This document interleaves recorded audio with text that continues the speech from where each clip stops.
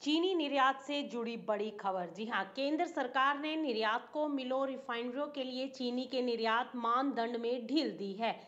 जिन्हें कच्ची चीनी शिपिंग के लिए परमिट दिए गए हों, उन्हें रिफाइंड चीनी भेजने का विकल्प दिया गया है।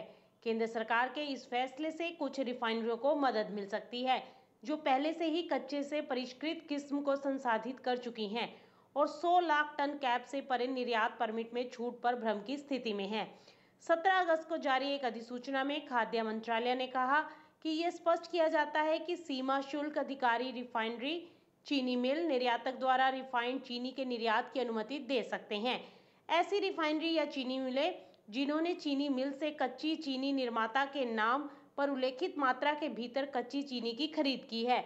उन्हें संबंधित अनुबंध और चालान के उत्पादन पर परिष्कृत चीनी का निर्यात करने की अनुमति है।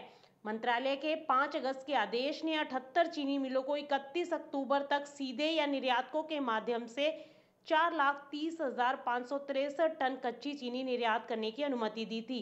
हालाँकि ताज़ा आदेश में कहा गया है कि कच्ची चीनी या तो सीधे निर्यात की जाती है या रिफाइनरी द्वारा ऐसी कच्ची चीनी के परिष्कृत चीनी के रूप में निर्यात किया जाता है। Bureau report market times TV.